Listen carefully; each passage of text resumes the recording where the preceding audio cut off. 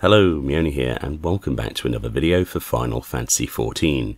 The servers are currently down for maintenance, so let's look at some news. A developer blog was finally translated and uploaded to the North American Lodestone today in the title Pose Pose Fight the Poser, all about the new G-Pose features added in patch 4.4, going live tomorrow the 18th of September 2018. It reads, Xexos here bringing you some group pose goodness that's coming up in the upcoming patch 4.4.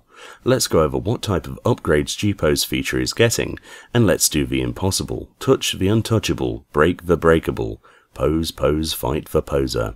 So apparently you now have the ability to stop the time of day, and of course the weather. So if it's raining and you kind of want rain for some reason, then you can press a new button inside G-Pose to allow you time to actually set your camera up. A lot of the time when video creating or trying to create thumbnails or really cool screenshots for art competitions or just a post on Twitter, it can be exceptionally annoying when you want a weather condition and a time of day to stay how it is whilst you go and make a cup of tea or, you know, set up the camera. This new feature is going to change the way that we use G-Pose in a significant way. It's a nice quality of life change and was one of the most requested items on the itinerary for G-Pose.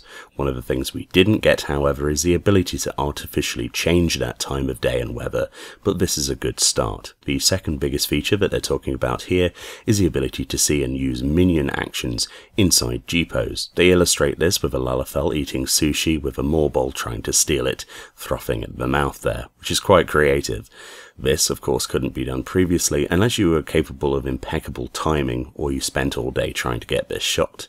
However, this will be a thing of the past and it will be a lot easier to see images like this on the forums, which of course means they'll probably use this as one of the features in an upcoming contest.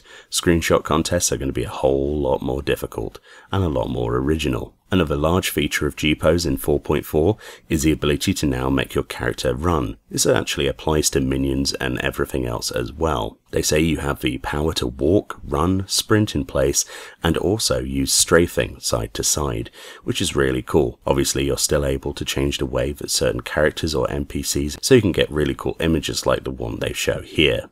They then finalized this devblog entry, showing some demonstrations from the QA teams in Japan and some of the shots that they've been playing with. The first one here is of a player mounting on a Rathalos actually flying towards the camera, demonstrating the ability to run forward, obviously affecting the mount as well. This makes it a whole lot easier to show mounts in flight rather than just floating around. The second image shows Nutkin bouncing around in Kugane whilst the character winks, obviously performing an emote there and also walking alongside the Nutkin, which is incredibly cool and obviously wouldn't have been possible previously unless you had another player filming you do this. The third image is a player reacting to the minion the magic bucket, whereupon a goldfish leaps out of the bucket and he's used the surprise emote, which looks really cool. And the final image here is an action shot of a wedding pair rushing towards the camera, looking at each other and getting ready for battle, which is really cool and demonstrates the sprint forward, and of course the filter that applies movement lines to the screen.